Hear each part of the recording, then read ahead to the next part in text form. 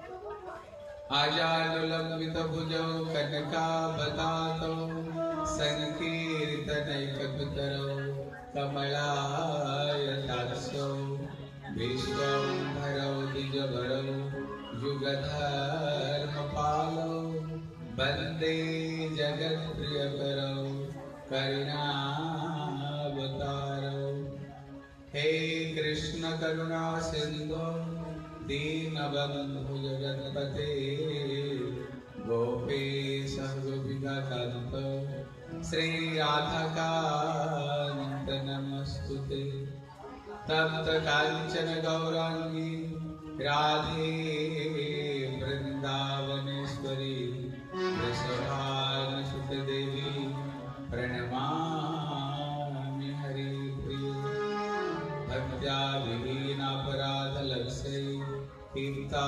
कामादितरङ्गमध्ये कृपामयि त्वां शरणं प्रपन्ना। वृन्दनमस्ते चरणारविन्दम्। हे श्री सनातन प्रभु करुणाम्बरासे हे रूप दुर्गत जनै दयावलोकै, हे भट्ट जुग्म सुमति रघुनाथ श्रीजीव विकुरुत तमादिदेवं करुणानिदानं, तमालवर्णं सुहृदावतारम् अपार संसार समुद्र सेतु, भजामहे भागवतं स्वरूपम् जन प्रभजनतमनुपेतमपेतकृत्यं द्वैपायन विरहतातर आजुभाव पुत्रेति तन्मयतया तरवो विनेदुं स्तव सर्वभूतहृदयं मुनिमानतस्मै नारायणं नमस्कृत्य नरं चैव नरोत्तमं देवीं सरस्वतीं व्यासं ततो जयमुदिरै श्रीकृष्ण चैतन्य प्रभु नित्यानन्द श्री अद्वैत गदाधर श्रीवासादि गौर भक्त वृंद सब बार हाथ उठा कर बोलो। बोला, हरे कृष्ण हरे कृष्ण कृष्ण कृष्ण, हरे हरे हरे राम।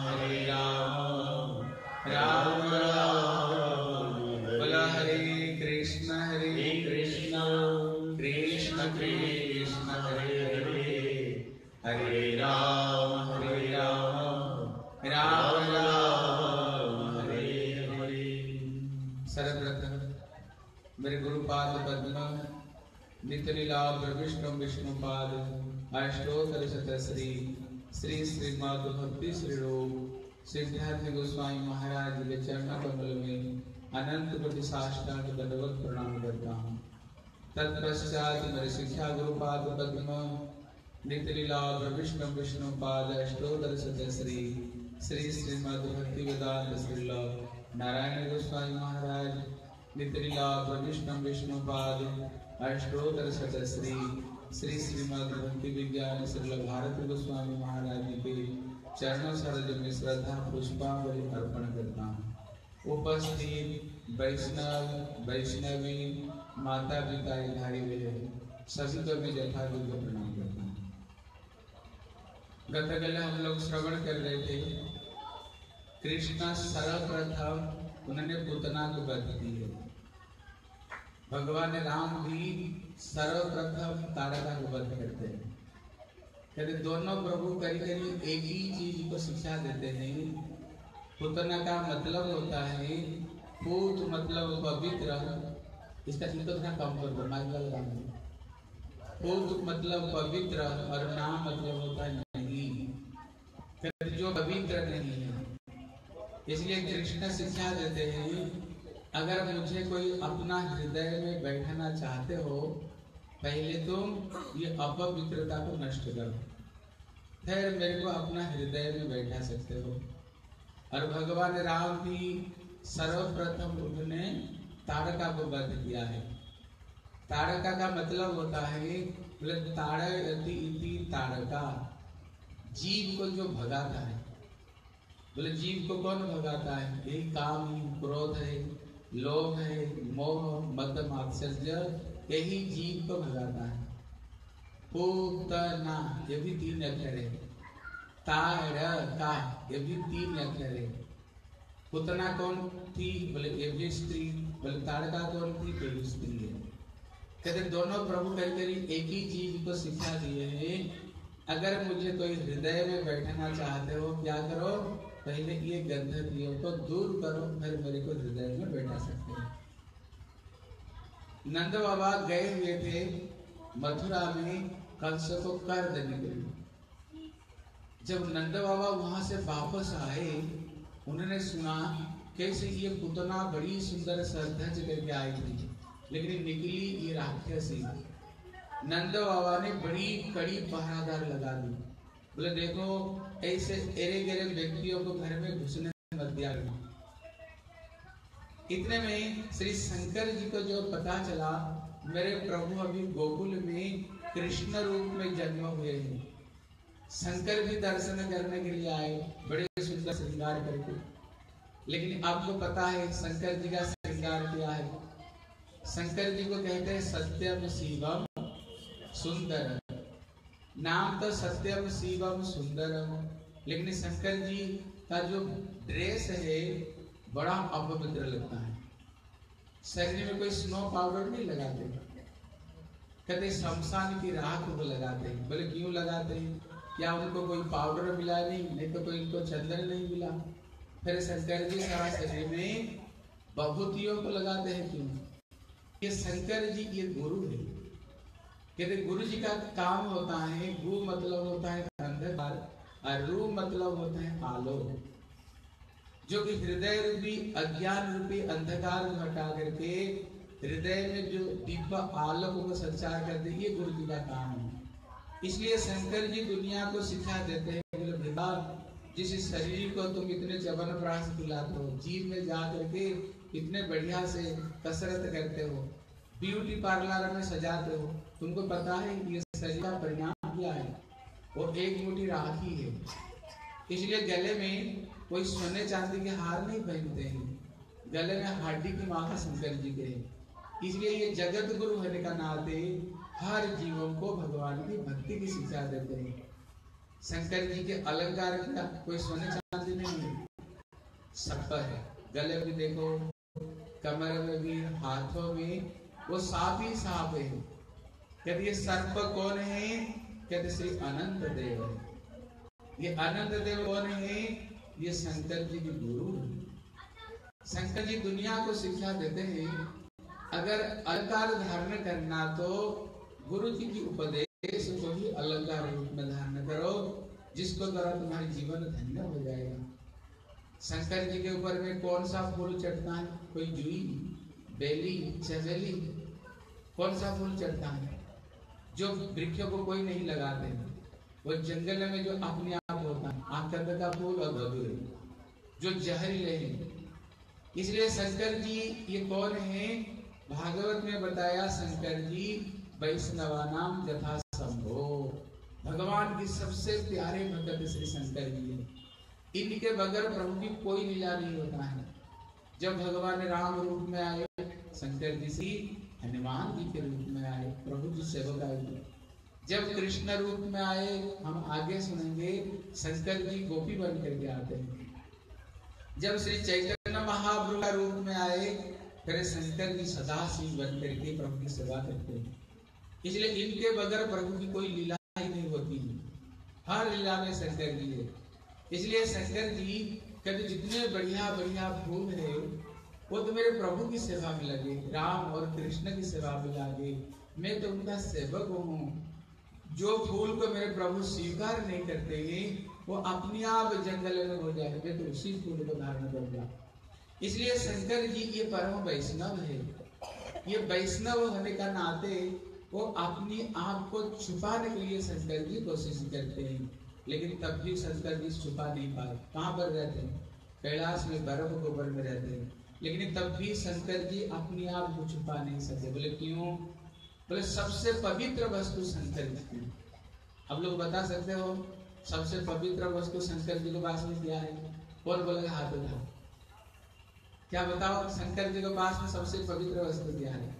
बोलो। यहाँ ये गंगा जी है। शंकर जी की जटा में श्री गंगा जी है। बोले, श्री गंगा देवी की सबसे पवित्र वस्तु है गंगा शंकर जी के पास में। इसलिए शंकर जी अपने आप को छुपा नहीं सके। इसलिए श्री शंकर जी जब आए, बड़े सुंदर श्रृंगार करते हुए आए। देखा दरवाज़ा में एक एक दासी है। बोले, मैंने सुना नंद बाबा का घर में एक बालक जन्म लिया है। हैं?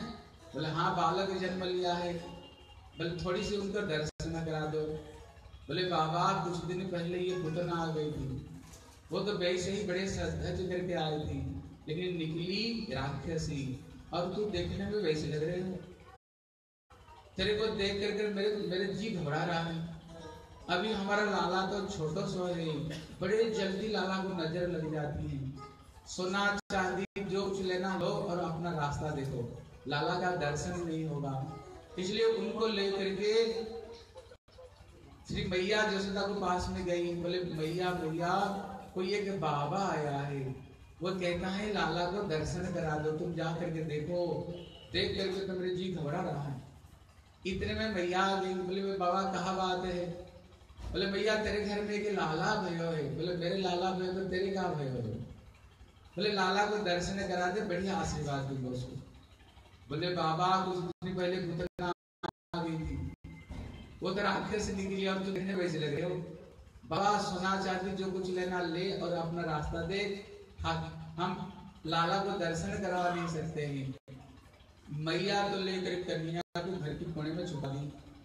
शंकर जी वहीं पर त्रिशूल उगा करके शंकर जी बैठ गए। बोले, जब तक लाला का दर्शन नहीं होगा तब तक यहाँ से हटने वाला नहीं।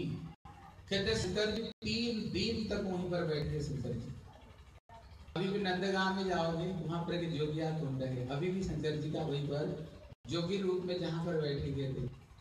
शंकर जी प्रभु जी को ध्यान लगाए, प्रभु, आपके सारे लीला तो हमने दर्शन की है लेकिन आप भगवान होते हुए भी भूख लगे तो बोल नहीं पाते हो, रोते हो। अरे मैया तो दूध पिलाती है। कहीं जाना तो मैया गोद में ले जाती है आपको। मच्छर काटे तो बोल नहीं पाते हो, रोते हो। अरे मैया मच्छर भगाती है। इसलिए हे प्रभु, ये बाल, गोपाल का लीला मुझे थोड़ी सी दर्शन दे दो। कितने में कृष्णा शंकर जी को दर्शन देने के लिए, उन्होंने तो बड़े ही ज़ोर ज़ोर से रोने लग गए। जितने थप थप लगाए उतना ज़ोर ज़ोर से रोए। पूरा परिवार परेशानी परेशानी हो गए पूरा परिवार। एक गोपी ने कहा, भैया वो जो बाबा आया ना, वो चुपचाप वहाँ बैठा हुआ आँख बंद करके। लगता है मन मन में कोई जादू कर रहा है तेरे लाला के ऊपर में। वो कहता है, जब तक लाला को दर्शन नहीं कराओगे, तब तक मैं हटने वाला नहीं जाओ, एक बार उसको दर्शन दिला करके आ जाओ। भैया ने काले कपड़े ओढ़ा करके और उन्होंने काजल मोटी मोटी लगा दी। यहाँ पर काजल का बूंद लगा दी। गले में काला धागा पहना करके बड़ी कष्ट से लेकर के आती है। बोले, बाबा, ले दर्शन कर। जब केवल एक झलक शंकर जी को दर्शन करा रहे, कृष्ण बड़े ज़ोर ज़ोर से रो रहे थे। इतने में तो कृष्ण खिला के हंसने लगे। और शंकर जी हंस रहे थे। शंकर जी रोना शुरू कर दिया। मैया ने देखा, ये कुछ ज़रूर ये कुछ जानता है, क्योंकि ये लाला का रोना लेकर के अपना हंसना लाला को देंगे ये ज़रूर कुछ जानता है, ये लाला। बोले, बाबा, तेरे को कोई जादू तो ना आता है, बोले, और क्या? बढ़िया, मेरे को जादू तो ना आता है बोले, बता क्या बात है? बोले, मेरे लाला को बड़ी जल्दी से जल्दी नज़र लग जाती है। कोई उपाय है? बोले, एक उपाय करोगे ना कभी तेरे लाला को कभी जादू ना लगेगी नहीं। बोले, बाबा, बता दो।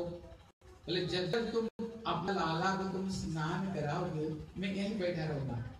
उसका जो चरणा चरणामृत ला करके मेरे सर पर डाल देना, क्योंकि गंगा उनका सर सबसे गंगा पवित्र वस्तु है, भगवान की चरणा चरणामृत बोले, बाबा, सो कर लूँगा और कुछ करना पड़ेगा, बोले, और एक काम करोगे तो कभी लाला को नज़र ही नहीं लगेगा। बोले, बता दे। बोले, जब तेरे लाला को तुम खाना खिलाओगे पतल में जो बच जाएगी ला करके मेरे को दे देना।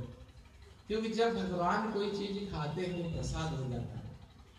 लेकिन जब वो प्रसाद को भगवान ही भक्त खाते वो प्रसाद नहीं, पर महा महाप्रसाद हो जाता है। इसलिए ये साढ़े पाँच हज़ार साल की कथा है। अगर आप अभी नंदगाम जाओगे, आप देखोगे जब भगवान का स्नान कराया जाता है, वहाँ से सीधा एक नाली है शंकर जी शिवलिंग वहीं पर शंकर जी। नंदीश्वर महादेव है। वो सीधा वहीं पर आती है और शंकर जी के सर के ऊपर में ये चढ़ा पड़कर दिखता है। जब भगवान को भोग लगेगा, सबसे पहला लेट आएगा श्री शंकर जी के पास में। शंकर जी खाएँगे, फिर दुनिया को भी प्रसाद मिलता है। अभी भी वो लीला वहाँ पर हो रही है। देखो, यहाँ पर शिक्षा देते हैं, कोई भी खाना हो, ये डायरेक्ट शंकर जी को नहीं देनी चाहिए। डायरेक्ट हनुमान जी को नहीं देनी चाहिए। हम लोग क्या करते हैं, लड्डू लेकर के हनुमान के मुँह में घुसते हैं हनुमान जी खा लो। क्या हनुमान जी भूखे हैं, तुम्हारे लिए भी खा लेंगे। जब राम दरबार लगता है, हनुमान जी कहाँ बैठते हैं? प्रभु राम के चरण में बैठते ये चीज़ को समझो। जब तक प्रभु राम कोई चीज़ नहीं ग्रहण करते उसको बाद में माँ जानकी जब तक नहीं लेती है ना, करोड़ रुपया की लड्डू हनुमान जी को दे दो, एक पीड़िता भी हनुमान जी ग्रहण नहीं करेगी अगर हनुमान को मत दो, पहले राम को, फिर माता जानकी को भोग लगे ना शंकर हनुमान जी लपक कर खा लेंगे। क्यों? भगवान की होगा उसी तरह जो शंकर जी, ये परम वैष्णव है, इनको भी कोई चीज़ डायरेक्ट नहीं देनी चाहिए। माता जी को भी कोई चीज़ डायरेक्ट नहीं देनी चाहिए। गणेश जी को नहीं देनी चाहिए। पहले कृष्ण हो, राम हो, इनको पहले तुलसी पता से इनको भोग लगाओ। लगा करके फिर इनको तो बड़े प्रसन्न होकर खाएँगे। और जो कुछ आप मांगोगे ना, सब आपका आशीर्वाद दे देंगे। इसलिए अभी ये लीला श्री नंदगांव में यही लीला चल चल रही है। बोले श्री भोले बाबा की बोले श्री कृष्ण कन्हैया लाल की जय। जय श्री अभी कृष्ण धीरे धीरे बड़े हुए। बोले कितने कृष्ण बड़े हुए? जब बच्चा अपना करवट लेता है कितने महीना में? समझो तीन महीना में करके बच्चा अपने आप करवट ले लेता है। मैया तो इतने खुश हो गई। आज लाला ने करबट लियो है आज तक घर में करबट लेने का उत्साह मनाऊँगी सारी ब्रज, गोपियों को नौता दे दी। आज घर में कीर्तन हो गया। देखो, पहले यही नियम होता था। घर में कोई भी उत्सव होता था, सब माताएँ आकर के बैठ करके भगवान की कीर्तन करते थे। इसलिए घर में हर चीज़ मंगलमय होता था, हैं? हर चीज़ मंगलमय होता था। भगवान का नाम मंगल भवन अमंगल हरी मैया ने क्या किया अपना आँगन को मैया ने साफ़ सुथरा कर दी। और जितने अभी सामान को लेकर के एक बैलगाड़ी को ऊपर रख दी और कृष्ण को स्नान करा के बैलगाड़ी को नीचे सुला दी, क्योंकि अभी जब गोपियाँ आएगी, गीत गाने की फिर किसको क्या लेना, देना, ये बीच में कोई डिस्टर्ब नहीं करे। फिर कीर्तन होगा तो कच्चा नील टूट जाएगी, लाला की।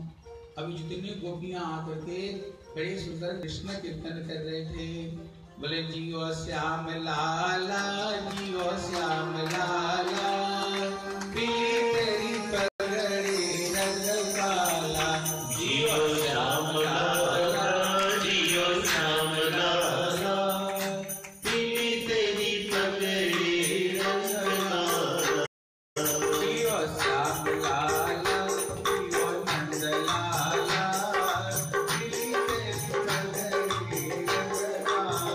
जियो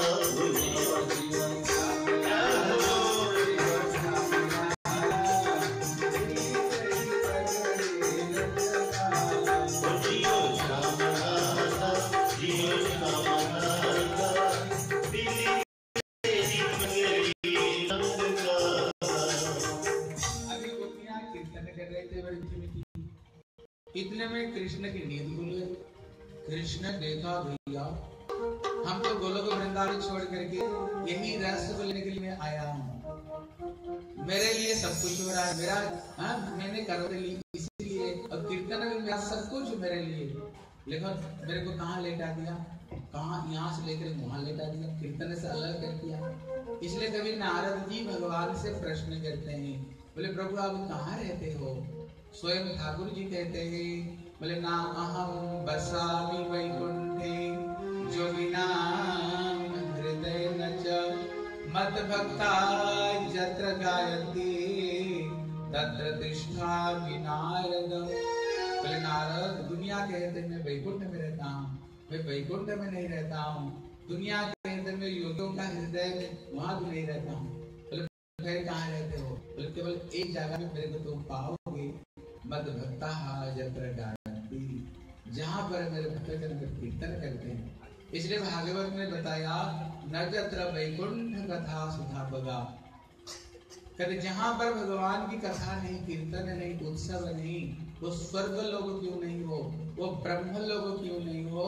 बोले नबई से बता वहाँ पर मैं जाना नहीं चाहता हूँ। भगवान सोच रहे भैया, यही रस लेने के लिए मैं गोलोक वृंदावन से आया हूँ। और देखो, मेरे कहाँ लेकर अभी कृष्ण चाहते हैं, भैया, मैं भी थोड़ा एक कीर्तन का रस लूँ।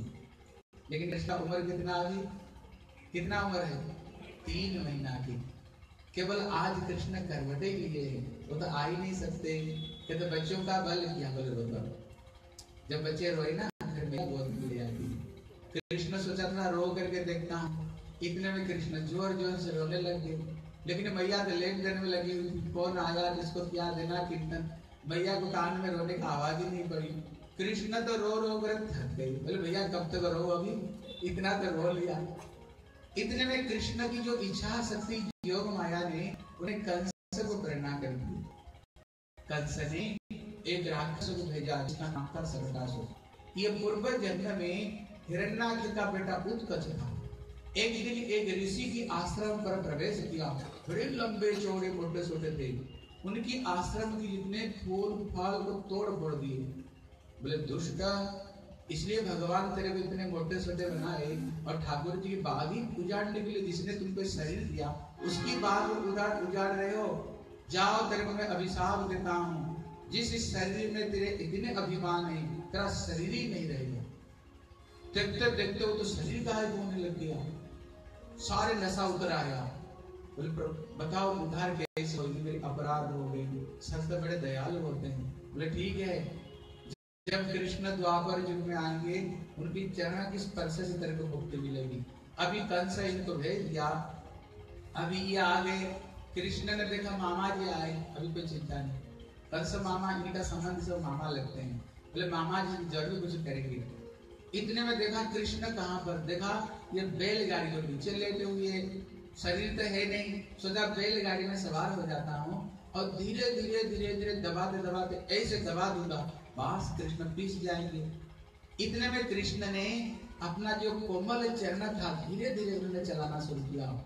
चलाते चलाते ऐसे ठोकर मारे बैलगाड़ी में एकदम गाड़ी पलट गई। और जितने सारे दूध, दही इसको ऊपर था, सब नस हो गया और दैत्य वहीं पर प्राण छोड़ दिया। और भगवान का चरण स्पर्श से उसको मुक्ति मिल गई। जितने ब्रजवासी सब भागते भागते आए तूफ़ान नहीं, पलटी तो पलटी कैसे कृष्ण का छोटे छोटे सखा लोग थे उन लोगों ने देखा था कृष्ण का चरण किस स्पर्श से पलट गई। बोले, भैया भैया, हम बताएँ। बोले, बताओ। बोले कन्या की चरण किस स्पर्श से? बोले, क्या पागल हो गए हो? अभी लाला के बोले, तीन महीना के। अब कह रहे हो इनकी चरण किस स्पर्श से? कहते, इनकी चरण की स्पर्श से हो गई। लेकिन भैया ने मानी नहीं। फिर कृष्ण को लेकर के फिर उन्होंने कृष्ण को बीच में ले आए फिर सबके सब कीर्तन करने लगे। कृष्ण ने कहा पहले अगर ऐसे करते तो फिर मैंने इतना नकट करता है बस वृंदावन बिहारी लाल की जय। जय श्री राम हरे कृष्ण देखो इधर सुना भैया आप वहाँ खड़े हो जाओ गेट के पास में।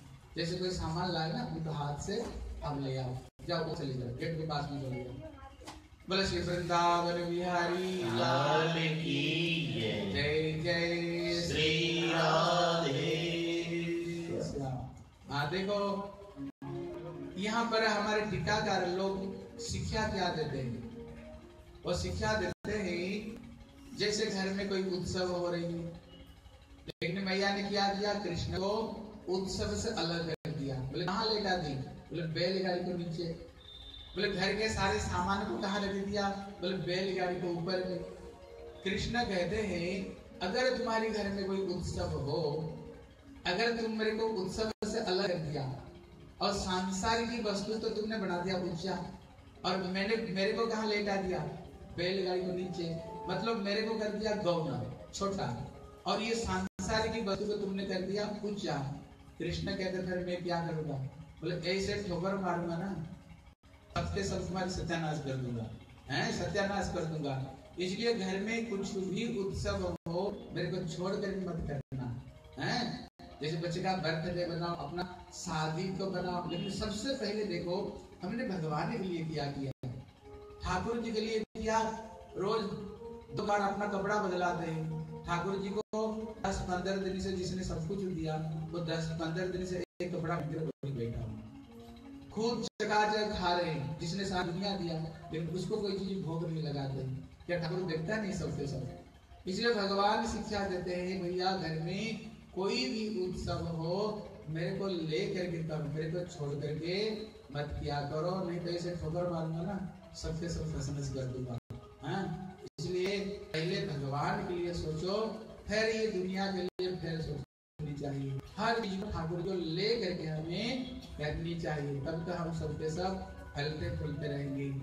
अभी कृष्ण उतना बड़ा हुए, जब बच्चा अपने पेट की सहारा से, जैसे सांप चलता है ना, कृष्ण ऐसे चलना शुरू कर दिया, पेट की सहारा से। कृष्ण बड़ा नटखट है। पहले हर घर घर में दहली हुआ करता था। अभी कृष्ण चाहते घर से बाहर निकले। कृष्ण अपना पेट के सहारे से घिसटते घिसटते दहली को ऊपर आए, दहली की ऊंचाई। अभी आधा शरीर बाहर और आधा शरीर भीतर है। कृष्ण तो एकदम लटक गए। अभी बाहर भी नहीं आ पा रहे और अंदर में भी आ नहीं पा रहे। इतने में कृष्ण रोना प्रारंभ कर दी उसी समय श्री नारद जी और श्री लोमर ऋषि दोनों प्रभु को दर्शन के लिए आए थे। प्रभु गोकुल में कैसे लीला कर रहे हैं। देखा तो लटक तो भगवान, प्रभु लटक रहे हैं और रो रहे हैं। ये लीला को देख करके नारद जी बड़ी ज़ोर से ठा लगा कर हा हा कर से फिर थोड़ी देर बाद में नारद जी फिर रोने लग गए। ऋषि ने पूछा, नारद जी, पहले तो आपने हंसे, फिर बाद में फिर रोए क्यों?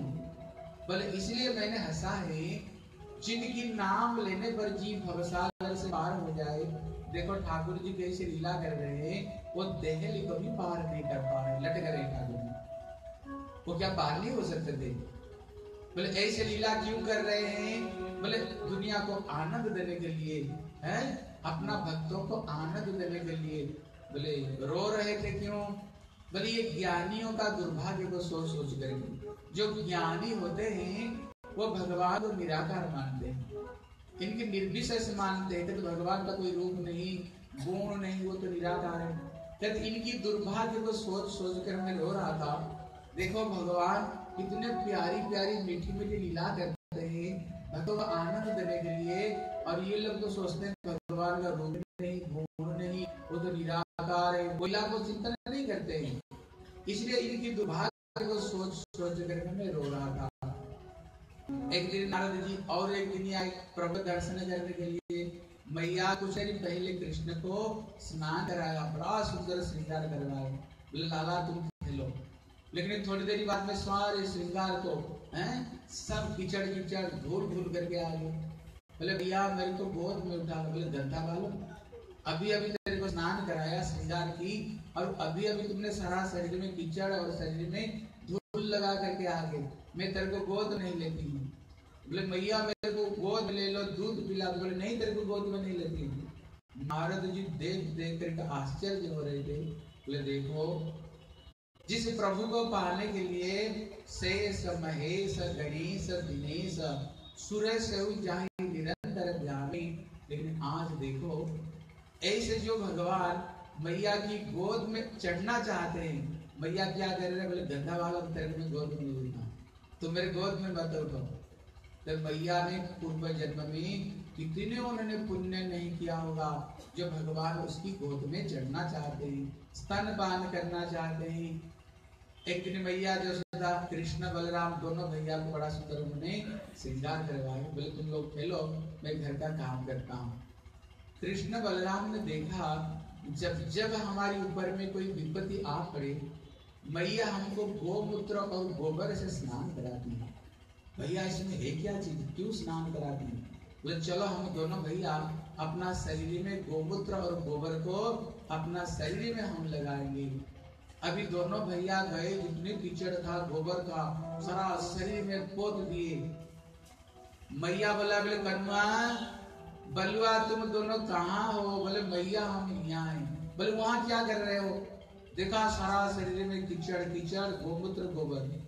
मैया तो दोनों को कान पकड़ लिए। बोले, क्यों रे? लगता है तुम दोनों पूर्व जन्म में, क्या तुम लोग सुअर थे? क्योंकि सुअर ये सब कीचड़ गोबर में लौट गोट खाते हैं। कृष्ण ऐसे सारे बजा रहे बोले, मैया में तो सुअर था, लेकिन तेरे कैसे पता चला? क्योंकि भगवान सत्य युग में बराह अवतार रूप में ठाकुर जो बराह का रूप, ये सुअर का रूप है।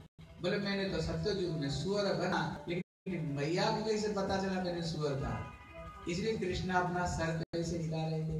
आज भगवान, ये गोमूत्र और जो गोबर है, इसमें कितने पवित्रता है, इसमें आज ठाकुर ये चीज़ को समझाने के लिए उन्होंने ये लीला की। इसलिए अभी साइंटिस्ट लोगों ने, अभी देसी गोबर और गोमूत्र में कितने मेडिसिन है अभी साइंटिस्ट लोगों ने ये चीज़ को रिसर्च करके अभी ये लोग सबके सब ऐसे दवा निकाल रहे जो सारी बीमारी को ये सही करने वाले गोमूत्र और गोबर है। कृष्णा और जब धीरे धीरे धीरे कृष्णा बड़े हुए, अभी जिसकी मन में जो आए, बच्चे को उसी नाम से पुकारते हैं। जिसकी जैसे संसार में होता है जो नाम आ जाए जिसको में ऐसे जाते लेकिन यह होता है बच्चे का कोई निर्दिष्ट एक नाम हो जाए। लेकिन उसमें की गड़बड़ी है। नंद बाबा सोच रहे हैं, ये लाला तो मेरा है। लेकिन वसुदेव सोच रहे हैं लाला मेरा है। ये दोनों ही सोच रही लाला मेरे है। लेकिन दोनों का ही लाला। एक ही गर्गाचार्य, को पास में श्री वसुदेव महाराज आए। बोले, हे गर्गाचार्य जी, आपको पता है, ये कृष्ण मेरे लाला है। मैंने रातारात वहाँ छोड़ करके आ गया। अगर नंद बाबा बच्चे का नामकरण करते हैं, पहले ये नियम होता था, जब कोई नामकरण करते थे, ऐसे नहीं टुन्नू गुल्लू टिक्की, पिक्की, मुँह में जो आए, वो सो नाम रखते थे। पहले ये सब चीज़ नहीं थी। पहले बुलाते थे ब्राह्मण को पास में, फिर उनको पूछते थे, ये बच्चा कौन सा नक्षत्र में जन्म लिया, कौन सा समय पर जन्म लिया? फिर पंचांग को खोल करके फिर उन्होंने एक अक्षर को निकालते थे, फिर ये अक्षर को पहले रखते थे, रख करके फिर कोई नाम करने करते थे। ऐसे अपना मनमानी नाम नहीं करना करते थे। पहले नाम कैसे होता था? देखो, बेटा कौन होता है? जैसे पिता मरने का बाद बच्चा उसको पिंड देता है ना? पिंड देता है। जो अपना वंश को रक्षा करने वाले ये बच्चा होता है। कहते ना, बेटे को कहते बेटा, ऐसे कोई काम मत करियो पिताजी का कोई बदनामी नहीं होनी चाहिए। अगर बेटा बढ़िया काम करता है कहते, भैया, ये बेटा किसके बेटा है? किसका नाम आता है? पिताजी का नाम आता है। अगर कोई गड़बड़ करे तो बोले, भैया अम्मू का बेटा कैसे किया कोई अच्छा काम करे तो अम्मू का बेटा। ये जो बेटा है, वो हमारी परंपरा को रक्षा करता है। हाँ देखो, ध्यान दे कर सुनो। पहले कैसे नाम रखते थे? जैसे भगवान राम है। ऐसे नाम रखते थे जो एक नाम में उसको भी पिताजी का नाम और उसका भी पिताजी का नाम है। ऐसे नाम रखते थे, जैसे राम है राम जी के पिताजी का नाम क्या है? बोलो, क्या नाम है? दशरथ है। दशरथ जो र अक्षर ये दशरथ महाराज से वो र अक्षर लिया। इसलिए पहला अक्षर हो गया राम। फिर उनको पिताजी का नाम क्या है? नाम था अज। इसलिए वहाँ से दिया अ। इसलिए भगवान का नाम पड़ गया राम और म कृष्ण का नाम देखो। कृष्ण जी के पिताजी का नाम क्या था? बोले, नंद।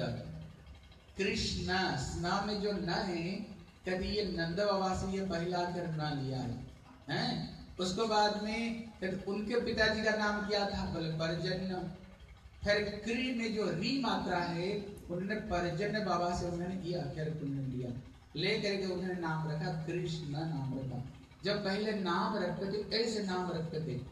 और शास्त्र बताया आप लोग को भी जब बच्चों का नाम रखवाया करो, जो मुँह में आ जाए, जिसकी मुँह में, है, ऐसे नाम मत रखा करना। क्योंकि अब तो हिंदू लोग हैं, देखना, बेटी शादी से पहले कुंडली मिलाते हैं ना? कुंडली मिलाते कि नहीं? बोले, कुंडली क्यों मिलाते हैं?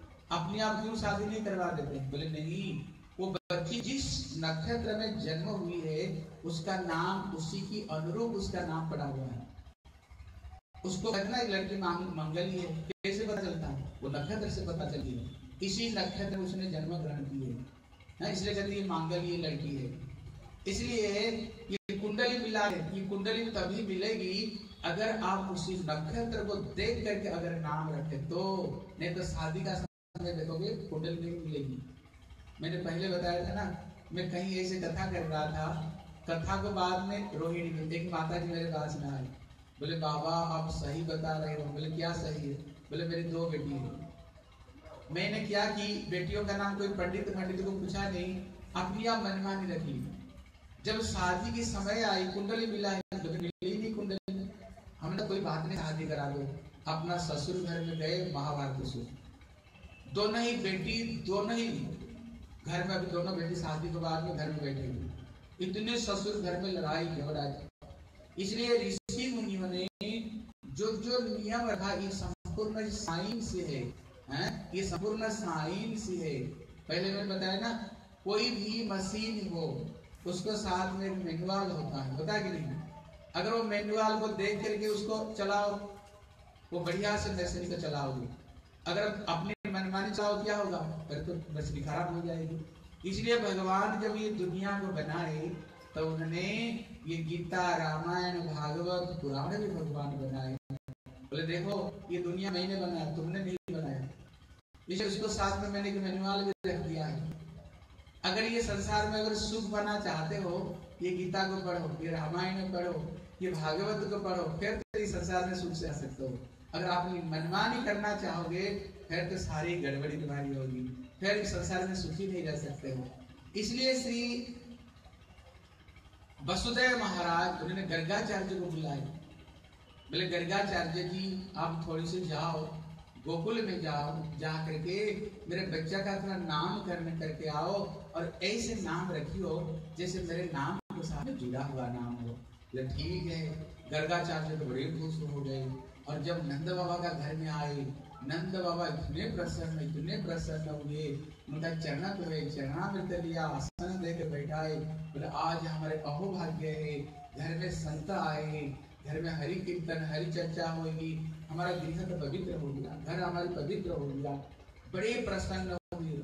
और जो काम के लिए आए थे ना, नंद बाबा अपनी आप बोल पड़े। जब आप कृपा करके आए हो, हमारे ये दोनों लाला का अभी तक नामकरण नहीं आप थोड़ी सी इसकी नामकरण करा दो। बोले, ठीक है। अभी कृष्ण बलराम को यशोदा और रोहिणी लेकर के आए। सर्वप्रथम उन्होंने श्री दाऊ भैया का नाम की कर्ण की। उन्होंने जब ध्यान लगाया, ये बच्चा कौन है? उन्होंने सारा दुनिया को देखा, ये कौन है? ये साक्षात अनंत देव है। हैं? बोले, शंकर सन कारण तो यसाई गर्भो साई च दिसाई शेषांश जस्यांश सकला सनित्यानंदाक्षरामाम शरणम प्रपदे बोले, हे नंद बाबा, ये तुम्हारी जो लाला है, तुम्हारी ये लाला ये साधारण नहीं, ये साक्षात श्री अनंत देव है, जो शंकर देव प्रभु और कारणों साई, गर्भ साई जितने विष्णु सब इन्हीं से ही प्रकट होते हैं। इसलिए इनका नाम एक होगा बल। बल मतलब होता है, देखने में का शरीर इष्ट होता, बड़े सुंदर थे। इसलिए बोले, बल्ला दिख्यात बलम विभु। और जो भगवान की जो बल देने वाले कौन है, ये बलदेव प्रभु ये गुरु तत्व है। कहते हर जीवों को भक्ति का जो बल यही देने वाले। और इनका नाम राजे राम है, क्योंकि ये देखने में बड़े सुंदर है। इसलिए इनका नाम होगा बल राम होगा। इनकी और एक ही नाम होगा सुदर्शन। क्योंकि ये सर्वप्रथम देवकी गर्भ में आए और इनको जोग माया आकर्षण करके उन्होंने रोहिणी गर्भ में स्थापन किया। अगर जदुवंशी और ये गोप वंश में अगर कभी लड़ाई हो तो ये बच्चा दोनों को बढ़िया से रखेगा। ये लड़ाई झगड़ा होने नहीं देगा। इसलिए इसका एक नाम होगा संघर्ष नाम होगा। बोले श्री ताऊ भैया की अभी कृष्ण कन्या का नाम होगा। गर्गाचार्य ध्यान लगाएँगे, बच्चा कौन है? ध्यान लग गया तो उनका ध्यान ही लगे वो आँख ही नहीं खुल पा रहे थे, बोले क्यों? बोले, अगर जिसका दो, तीन, आठ, दस नाम हो, कभी कोई नाम तो रख ले। ध्यान लगाया तो देखा ये विश्व ब्रह्मांड में जितने नाम है, सब इनका ही नाम है। कहते ना, हरि अनंत, हरि कथा अनंत बोले, भैया क्या नाम करे। सारा दुनिया का नाम इसका ही नाम है। और जिससे बोले जस्य प्रभा प्रभवतो जगत दंड कोटि कोटिषु अशेष वसुधाति विभूति नाम जिनकी एक एक लोक में एक ब्रह्मांड नहीं, अनंत करोड़ ब्रह्मांड विद्यमान। अभी तो वो आँख खोल नहीं पा रहे थे। कौन सा नाम रखे? इतने में श्री नंद बाबा व्याकुल हो रहे थे। मेरे लाला का नाम क्या होगा उनका हाथ पकड़ कर हिला बताओ तो मेरे लाला का नाम क्या होगा, आप तो पूरा पूरा ही बंद कर दिए। बोले, देखो, तुम्हारी ये जो बेटा है, बोले, आसन वर्णास्त्र जस्य गृह्णोत अनुजुगमतल शुक्ल रक्तस्तथा पीत इदानी कृष्णताम बोले, तुम्हारा ये जो बेटा हर युग में ये आता है, ये बेटा सत्य युग में ये शुक्ल वर्ण रूप आया था अवतार में त्रेतया युग में, यज्ञ में ये रक्त अवतार रूप रूप लेकर के आया था। और जब कली युग आएगी, तुम्हारा ये बेटा, ये गौरव वर्ण रूप लेकर के श्री चैतन्य महाप्रभु रूप में, नवद्वीप में आकर के सर्वत्र ये हरि कीर्तन को प्रचार करेंगे। और इदानी अभी तुम्हारी ये बेटा, कृष्ण वर्ण लेकर के आया। इसलिए इसका नाम होगा, कृष्ण नाम होगा। बोले श्री कृष्ण कन्हैया लाल की। बल्कि इनका नाम कृष्ण नाम क्यों रखा बोले कृष्ण का बहुत सा मतलब होता है। बोले क्री मतलब होता है आकर्षण करने। हमारा मन बड़ा चंचल है। आप स्वयं देखना अगर मन इधर उधर भटक रहा है किसी तरह से तुम्हारी मन स्थिर नहीं हो स्थिर नहीं हो रहा है आप कृष्ण नाम को लो कृष्ण नाम को लो। देखना मन अपने आप विषय से अपने आप हट जाएगी। मन अपने आप कंट्रोल हो जाएगा। और स्ना मतलब जो आनंद देते हैं। चंचल मन को आकर्षण करते हैं और हमें जो आनंद प्रदान करते हैं इनका नाम कृष्ण। कृष्ण का एक मतलब काले। काले मतलब कोलतार जैसे काले नहीं है। हाँ? काले जैसे कोलतार जैसे काले नहीं है। इसलिए इनके वर्ण को बताया इंद्र नील मणि एक मणि है जिसका नाम इंद्र नील मणि है। बड़े सुंदर है। इसलिए भगवान को बताया घन श्याम जब मेघ इकट्ठे होकर हो जाता है तो क्या बादल बन जाता है? तो मेघ क्या बोलिए पानी। इकट्ठ हो जाए मतलब जब पानी इकट्ठा हो जाता है, इसका एक नाम होता है कृपा पानी का नाम। इसलिए कृष्ण को बताया, हे कृष्ण करुणा सिंधु, दीन बंधु जगत पते कृष्ण करुणा के सिंधु और दीनों का बंधु ये कृष्ण है। और कृष्ण का मतलब होता है, सुंदर भी होता है। बोले, इसका नाम कृष्ण नाम होगा बोले, देखो नंद बाबा, तुम्हारी जो बेटा है ना, बोले, बहुनी संति नामानी, इसका इतने नाम है कृष्णा गोविंद दामोदर, इसलिए हमारे संप्रदाय में एक संत हुए, जिनका नाम था भक्ति विनोद ठाकुर देखो, उन्होंने एक सुंदर कीर्तन लिखे। जितने भगवान का नाम को दे दे दे दे करके ना, बड़ा सुंदर कीर्तन लिखे। मैं बोलता हूँ, आप मेरे पीछे पीछे बोलो थोड़ी इसमें बंगला मिला हुआ है। बोले हरी नाम तो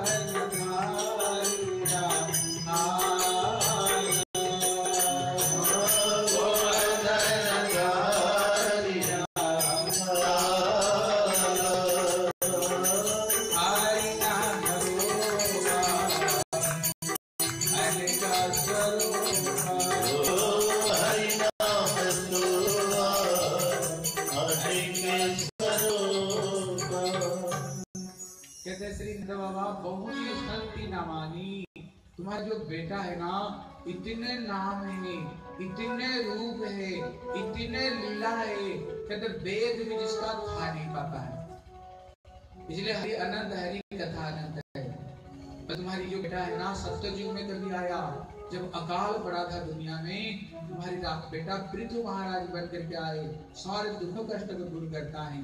बोले, एक जन्म नहीं, इसलिए जदा जदा ही धर्म से ग्लानिर्भवति भारत अद्भुतानम धर्मस्य तदात्मान हम कृष्ण कहते हैं, अर्जुन, जब जब इसी जगत में धर्म की हानि होने लग जाए, वो पृथ्वी, स्त्रियों को ऊपर अत्याचार होने लगे, तब तक मैं इस जगत में आकर के धर्म रक्षा करता हूँ और दुष्टों को विनाश करता हूँ। जब उन्होंने ये बात बता रहे थे ना, मैया, जसोदा तो बैठ बैठ कर सोच रही थी बोले ये पंडित जी जी कोई काम की बात नहीं बता रहे बिना काम की बात बता रहे बोले, बिना काम की मतलब देखो, हर माता क्या सोचती है? हर माता की सोच यही है, बेटा जल्दी से जल्दी बड़ा कर देना। और बेटा का तो ब्याह हो जाए और घर में बहू आ जाए, क्योंकि जब तक घर में बहू नहीं आती है ना, माताओं को घर का सारे काम काज करना पड़ता है। घर में जो बहू आ जाए, फिर क्या होता है? माताओं को विश्राम मिलता है। घर का काम काज को बहुत संभाल लेती है। ये ये, लेकिन अभी तो उल्टा हो गया दुनिया। अभी दुनिया उल्टा हो गया। अभी दो के दो तीन तीन बच्चे, एक अमेरिका में, एक लंदन में, नहीं तो कोई एक अलग जगह में नौकरी अलग जो बुढ़ा बुढ़ी घर में डुबरा डुबरी खाते हैं कोई रहेगी है? कोई बेटा सोचता है पिता माता उसको पास में चले जाए, कोई सोचे उसको पास में चले जाए, कुछ बात अभी दुनिया में एकदम पूरा उल्टा हो गई इसलिए भैया जसोदा सोच रही है, अरे पंडित जी ये तो बताए बेटा की शादी कैसे होगी, कहाँ होगी, कितने बहू होंगे?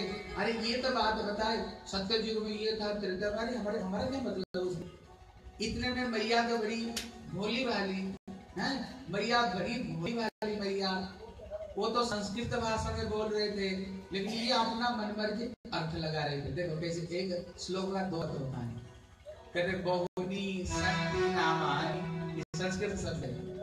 बोले, तुम्हारे बेटे का बहुत सारी नाम होगी लेकिन मैया अपना मनमान लगा रही थी, बोले, बहुनी, संति शायद मेरे बेटा का बहुत सारे बहू होगी भैया तो खुश हो गई अरे, जितना बहू होगी, इतना तो सास की सेवा करेगी। सचमुच से बात भी सही है। कृष्ण जो वृंदावन में राधा जान तो है ही है, लेकिन उनको आठ सखी, ललिता, विशाखा, चंपकलता विद्या चित्रा, सुचित्रा, रंगदेवी, सुदेवी अष्ट मंजरी फिर कृष्ण जब रास कहते हैं, फिर सौ करोड़ गोपियों को साथ में रास किया। फिर कृष्ण जब जाते हैं द्वारका में, फिर उनको सोलह हज़ार एक साथ बटरानियाँ होती हैं। इसलिए बोले, बहुनी संति बोले, अच्छी बात जितना बहु होगी। फिर नामानी, उनका नाम अलग अलग है? फिर बोले, रूपाणी। मैया अर्थ लगा रही थी, शायद कोई काली होगी, कोई गोली होगी, कोई सावर्ण वर्ण की बात भी सही थी, जो काली थी ना, वो देखने में काली थी।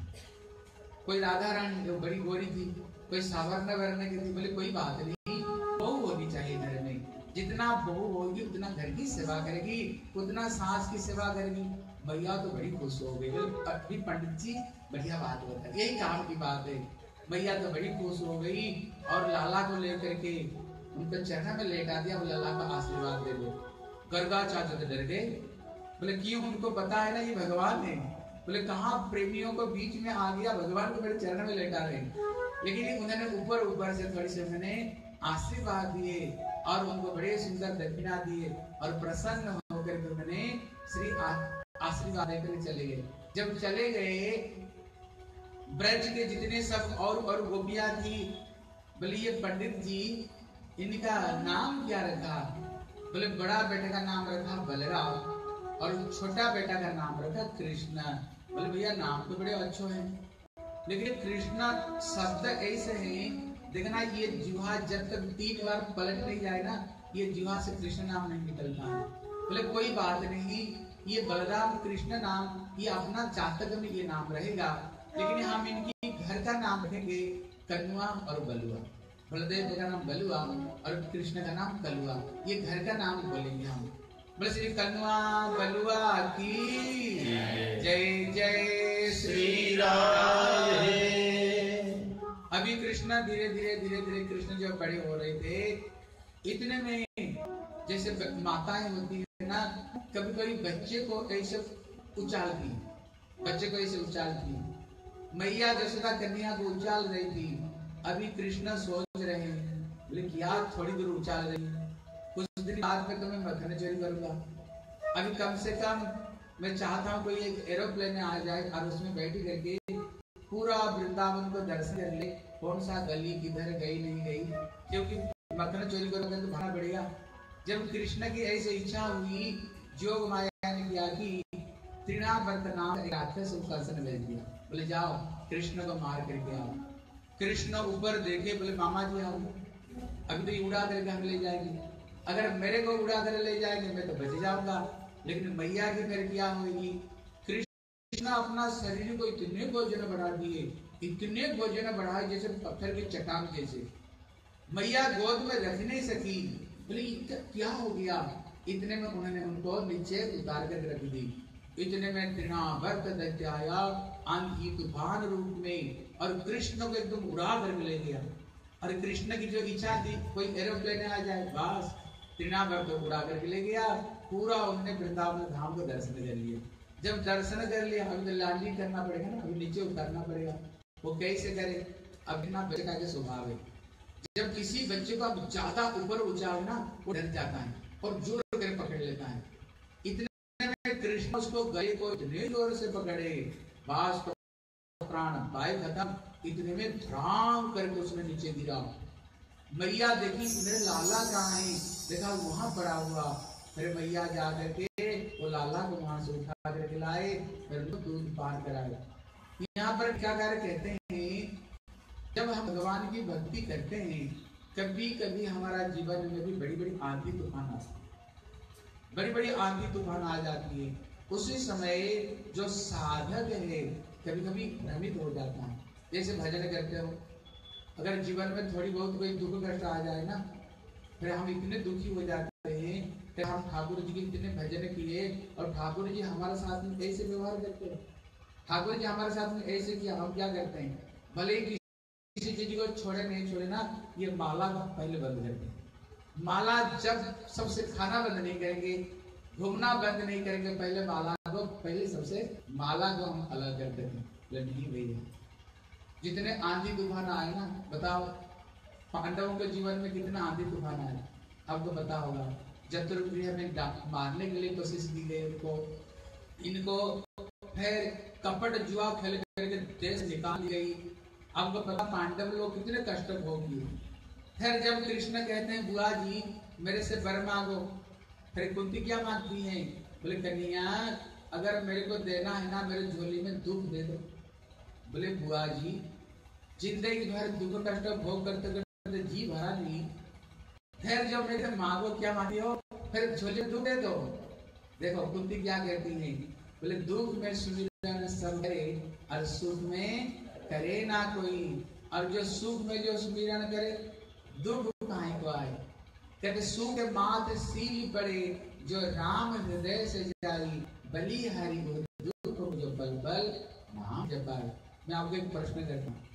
आप लोग ये बताओ, आप ज़्यादा दुख में भगवान को बुला दो ना सुख में बुला दो? बताओ तो किस किस समय पर भगवान को हम ज़्यादा याद करते हैं? दुख में करते हैं हैं? इसलिए अगर जीवन में कहीं थोड़ी दुख कष्ट आ गया ना उसमें बिलबिलाने नहीं चाहिए, है? दुखी नहीं होनी चाहिए। भगवान की भजन कभी नहीं छोड़नी चाहिए, भगवान की भक्ति करनी चाहिए। देखो, आपको एक छोटी सी कथा सुनाता हूँ। अगर जीवन में भक्ति करते करते जीवन में कोई दुख आ गया, आप उसको किस रूप में ग्रहण करोगे? हमारे बड़े गुरु जी सुनाया करते थे। आप ध्यान देकर सुनो। बोले, एक समय दो भाई रहते थे। एक भाई तो आस्तिक और एक नास्तिक। आस्तिक मतलब जो भगवान को मानता है, नास्तिक मतलब जो भगवान को नहीं मानता है। अभी जो भाई भाई का भजन करता था, वो माला लेकर भगवान का नाम करे, ठाकुर को सेवा करे, पूजा करे, खूब भगवान की भक्ति करे। अब जो नहीं करता था, वो इसको उड़ाया करता था। बोले, क्या दिन भर ये माला लेकर बैठा हुआ? ये मूर्ति के सामने, पत्थर के सामने दिन भर बैठते हो? है, कोई काम धंधा नहीं? अरे, यही समय अब किसी बिज़नेस में लगा तो कोई तो धंधा होता। अपना समय को क्यों बर्बाद करते हो? लेकिन जो भगवान की भजन करता है, उनको तो पता है कितने मस्ती है। भजन में कितने मस्ती, कितने आनंद है। एक दिन दोनों भाई निमंत्रण में कहीं जा रहे थे। जाते जाते जो भाई भजन नहीं करता था, उसके सोने की मोहर मिल गया उसने कहा, देखा, तू तो इतने राम राम, कृष्ण कृष्ण करता तेरे को क्या मिला? देखो, मैं तो भक्ति नहीं करता, मेरे को सोने की मोहर मिली। उसने कहा, बात सही है। जब और थोड़ी दूर गए, जो भजन करता था, उसको प्यार में लोहे की सीख गई। कड़ गई तो खून की धार बहने लग उसको ज़्यादा मौका मिल गया, बोले, देख लिया भजन करने का फल क्या, नहीं करने का क्या फल है?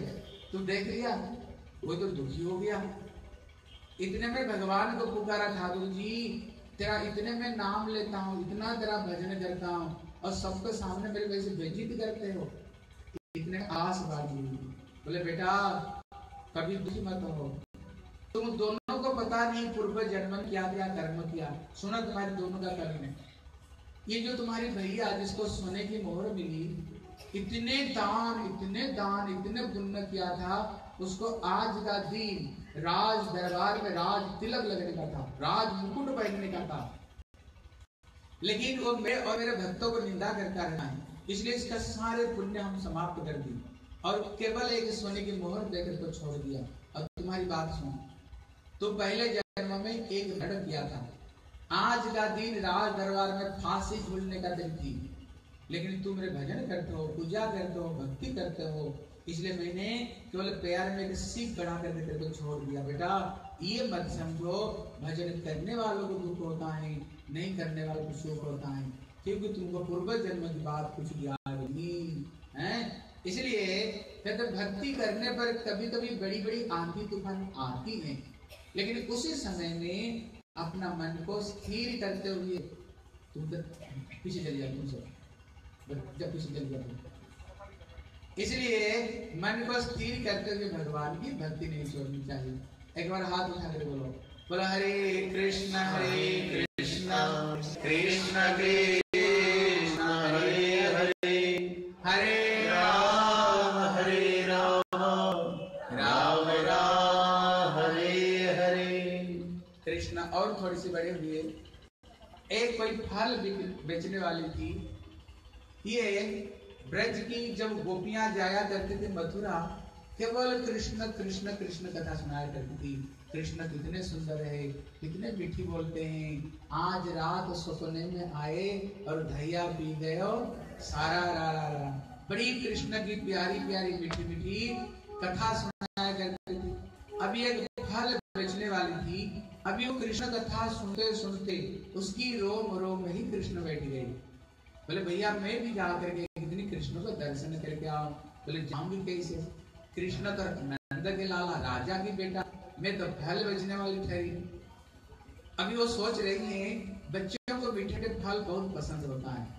मैं सुंदर सुंदर मीठे चीकू, केले और आम लेकर के जाऊँ दरवाजे को सामने खड़े होकर ज़ोर ज़ोर से पुकारू, फल लेगा कौन? फल हो सकता है कृष्णा फल खाने के लोग आएँगे और कृष्ण दर्शन हो जाए उसने फल लेकर आए बड़े ज़ोर ज़ोर से पुकारे, दरवाजे को सामने खड़े हो। गई लेकिन वो नंद लाला नहीं आए।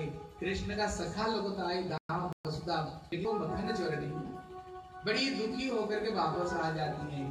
फिर दूसरे दिन भी ऐसे सुंदर सुंदर फल लेकर फिर गई। फिर ज़ोर ज़ोर से आवाज़ लगाई। लेकिन फिर कृष्ण का सखा लोग आए लेकिन वो कन्हैया नहीं आए। दूसरे दिन भी दुखी होकर के आ गई। और तीसरे दिन जब जाती है, एकदम प्रतिज्ञा कसम खा करके जाती है। अगर आज नंद लाला का दर्शन नहीं होएगा ना, मैं वापस नहीं आऊँगा। एकदम प्रतिज्ञा लेकर के जाती है। और कृष्ण चिंता में इतने डूब गई। उसने भूल गई फल बेचना। वो कहती है, गोपाल लेगा कौन गोपाल? गिरधारी लेगा कौन गिरधारी? कृष्ण लेगा कौन? कृष्ण। वो भूल गई फल बेचना क्यों? कृष्ण चिंतन करते करते करते इतने उसमें वो डूब गई।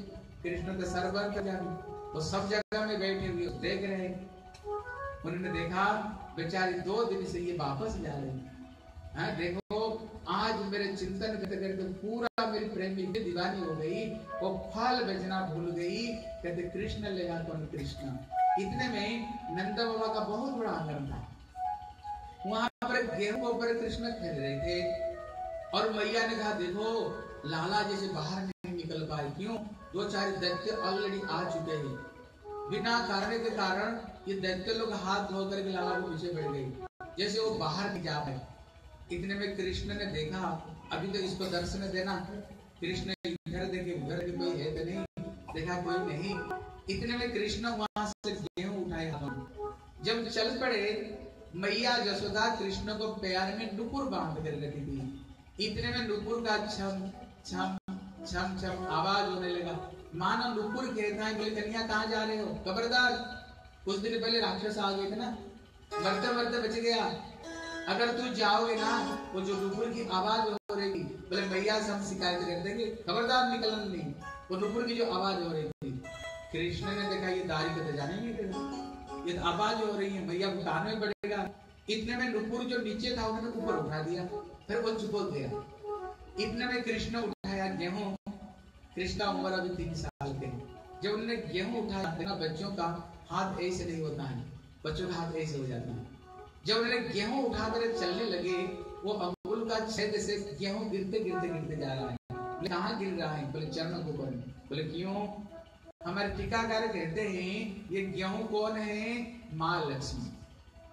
मानो कृष्ण को चरणों के ऊपर में गिरते हुए उनको चरण को पकड़ रही है। बोले, कृष्ण, मैं तो घर की कोने में पड़ी हूँ। तेरे तो मैं बिगाड़ नहीं रही हूँ। फिर मेरे को लेकर के बाहर एक व्यक्ति को देना क्यों चाहते हो? मैं तेरे पाम पकड़ता हूँ, चरण पकड़ती हूँ। मेरे को बाहर मत ले जाया करो। इतने में कृष्ण चलते चलते चलते चलते आ रहे हैं। जब आए, इतने में वो तो कृष्ण लेगा कौन? कृष्ण पागल होकर पुकार रहे थे। कृष्ण जब बाहर आए, उसने सुना था कृष्ण बड़े सुंदर हैं। जीवन में जब पहला बार कृष्ण को देखा, क्या सुंदर है कृष्ण, क्या चाल अलबेली है, गजराज चले मस्त मस्त। बड़ा सुंदर कृष्ण है। इसलिए हमारे गोस्वामी लोग कहते हैं, कोटि कंदर्प कमनीय विशेष एक काम देव नहीं करोड़ों काम देव जिसको सामने फीकी बढ़ जाएगी। इतने सुंदर कृष्ण देखने में थे। इसलिए कृष्ण जब बाहर निकले, जब उन्होंने दर्शन किया कृष्ण को, एकदम निहाल गई। है, एकदम निहाल गई। इतने में कृष्ण गए। उनका हाथ में केवल दो चार गेहूँ था। उनका जो टोकर थी ना, फल की, उसमें डाल दिया। वो गेहूँ का नीचे चला गया बोले, मेरे को फल दे दे, मेरे को फल दे दे। वो फल बेचने वाली कहती है, तेरे को तो मैं फल दूँगी। लेकिन तू तो पहले मेरे कुछ दे। पहले मेरे को दे, फिर तेरे को मैं फल दूँगी। बोले, तू तो हमें नई बात कह रही हो। जब किसी गोपियों को घर में जाता हूँ, मेरे को कोई कोई चीज़ मांगती नहीं। मेरे को बड़े प्रेम से गोद में बैठा करके मेरे को मत्था मिश्री खिलाते और तू मेरे को मांग रही हो दो। बोले, देखो, मैं भी तेरे को फल दे दूँगी, लेकिन ये काम करना पड़ेगा बताओ। बोले एक बार मेरे गोद में बैठ जा बैठ करके मेरे को माँ बोलो, फिर मैं भी सारे फल दे दूँगी। कृष्ण तो चिंता पड़ गई। ये छोटी जाति, कृष्ण तो राजा का बच्चा है। बोले, वैसे तो गोपियाँ मेरे को चिढ़ाती रहती है। अगर मैं इसको गोद में बैठी और माँ बोल दू, कोई गोपी अगर देख लिया ना, फिर तो मेरे को चिढ़ाती रहेगी। कृष्ण इधर उधर दिखा। बोले आस पास में कोई नहीं है कल देखा कोई है नहीं। बोले, एक बार माँ बोल देना क्या हो जाता है। इतने सारी फल लेगा इतने में उन्होंने उनकी गोद में एक बार बैठ करके बोले, मैया, मेरे को फल दे दे। फिर खड़े हो गए। अगर भगवान जिसको गोद में बैठे और उनको माँ बोले, कितने सौभाग्य की बात है। उतने में तो इतने वो दीवानी बन गई। जितने टोकरी में फल था ना, सारे फल हमने कृष्ण को दे दिया। कृष्ण को दे दिए। जब कृष्ण को दे दिए, इतने में जब कृष्ण वापस आए मैया ने कहा, लाला, तेरे को इतने फल कहाँ से मिला है? बोले, एक फल बेचने वाली गई भैया ने इसको धो धा करके अमुनिया करके ठाकुर जी को भोग लगाए, फिर सारे सखाओं को फल खिलाए इधर देखो, जब वो फल बेचने वाली वो टोकरी को लेकर थोड़ी दूर गई, देखा वो टोकरी ना भोजन, बोले, इतने भोजन कैसे हो गया? वो टोकरी को उतार करके देखती है, हीरे जवाहरातों से वो टोकरी एकदम भरा पड़ा हुआ है। देखो, भगवान शिक्षा देते हैं। अगर मेरे को कोई फल दे ना, मैं क्या देता हूँ? उसको झोली में भर देता हूँ। आज गिरिराज की पूजा होगी ना? ये कृष्ण स्वयं ये बात को बताए। ये गिरिराज की पूजा में जो एक अन्न का दाना केवल श्री गिरिराज की सेवा में लगाते हैं। बोले, एक जन्म नहीं, जन्म जन्मांतर का जो दारिद्रता समाप्त हो जाती है। में लक्ष्मी भरपूर रहती है। भगवान को देने का इतने पुण्य है। इसलिए घर में क्या करनी चाहिए? घर में जो खाना रखती है, पहले ठाकुर जी को भोग लगाओ। ठाकुर जी को भोग लगाओ। हम कहते हैं ना, प्रसाद कभी कम नहीं होता। अब घर में ठाकुर को भोग लगा कर खाओ ना घर में माँ लक्ष्मी खूब आती रहेगी। घर में माँ लक्ष्मी की बड़ी कृपा होती रहेगी। इसलिए घर में जो कुछ खाओ, ठाकुर जी को भोग लगा कर खाओ, हैं? अभी उसने बोले, प्रभु, मैंने आपको ये रहा तो मांगा ही नहीं। आप मेरे को इसको लेकर बुलाना क्यों चाहते हो? मैं तो चाहती हूँ दिन में केवल एक बार तेरा दर्शन मिल जाए। हमें और किसी चीज़ की नहीं चाहिए। फिर वो टोकरी को लेकर के उसने जमुना में गई और सारे रत्न को उसने उड़ा दी। उसको बाद में वो कहाँ गई फिर पता नहीं चला। कहाँ गई? ठाकुर अपना कहते हैं, उसको स्थान दे दिया देखो, ये कथा में कुछ शिक्षा है।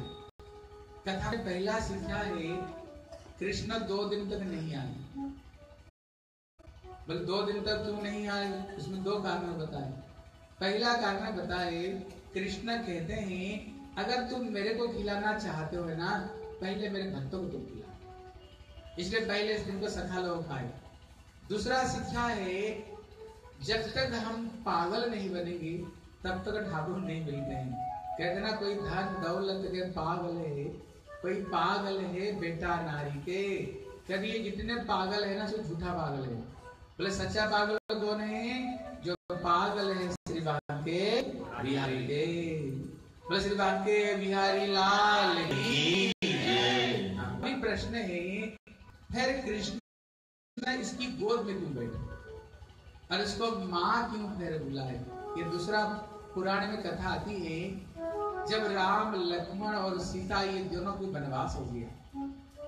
जब ये निषाद राज्य में पहुँचे, पूरा निषाद राज्य के सारे लोग उपहार लेकर के प्रभु राम ले आए। कहते, निषाद के पिता माता भी आए, भाई भी आए, पत्नी भी आई। भगवान राम एक एक करके परिचय दे रहे थे, बोले, प्रभु, ये मेरी माँ है। प्रभु, ये मेरे पिताजी है। अभी राम और निषाद, ये दो हो गए। देखना दोस्त का माँ को ना, जो अगर दो दोस्त हो, दोस्त का माँ को भी एक ये माँ बोलना है। ज़्यादा दोस्ती हो जाए। हैं? अभी जब बोले, ये मेरी माँ है, भगवान राम तो बड़े सुंदर थे। अभी निषाद की माँ की मन में भावना है क्या इसको मैं कभी गोद में बैठा सकती हूँ। कभी ये मेरे गोद में बैठ करके कभी ये माँ मेरे को बोलेगी।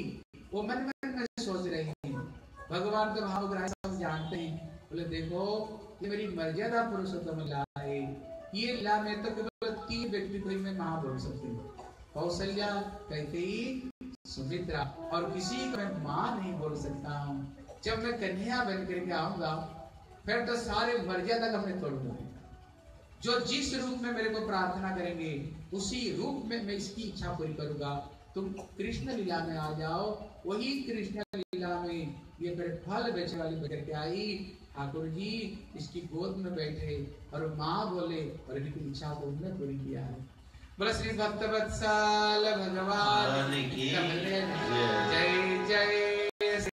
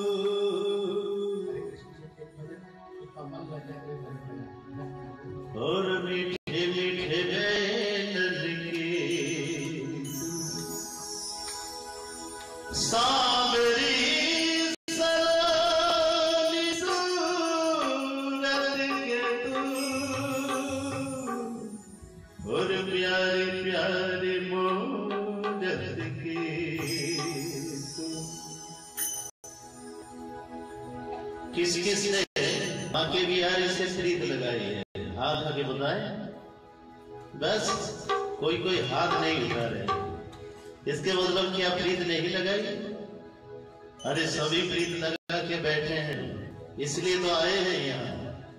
तो आइए बात के बिहारी की एक भजन गाते हैं। किस किस ने प्रीत लगाई है ठाकुर जी से? वो आ जाए नृत्य करने के लिए। वो मुझे लगी, वो मुझे लगी शाम संग में। ये दुनिया क्या